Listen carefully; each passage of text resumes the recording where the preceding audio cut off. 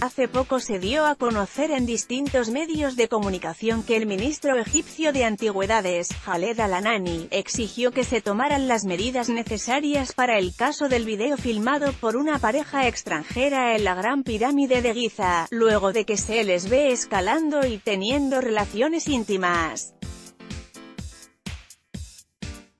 Alanani envió el caso a la Fiscalía General para que se investigue el material, que de acuerdo con los medios locales se trata del fotógrafo danés Andres HVID y de su compañera Josephine Saracheh los que compartieron el material en Instagram y YouTube.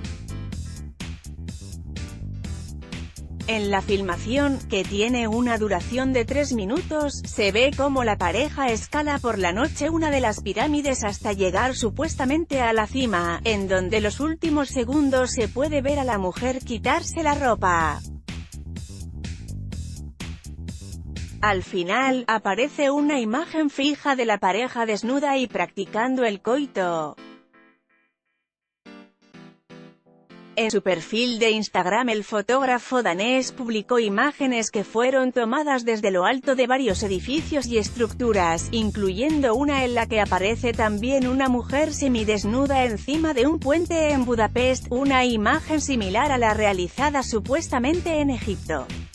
Hay que recordar que no es la primera vez que existen polémicas en torno a las tres pirámides más importantes de Egipto, pues en 2015, el joven alemán Andrei Ciesielski fue detenido y expulsado de por vida de Egipto por subir sin autorización hasta lo alto de una de ellas. Además, en marzo de 2017, la modelo belga Marisa Papen posó desnuda en la explanada de las pirámides de Giza.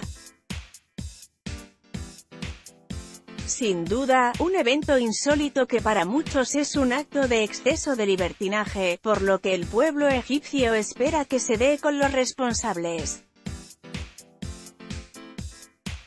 Con información de Infobae, F, Instagram y EGYPT Today. Anímate a comentar. Queremos saber tu opinión. Comentarios powered by Facebook Comments.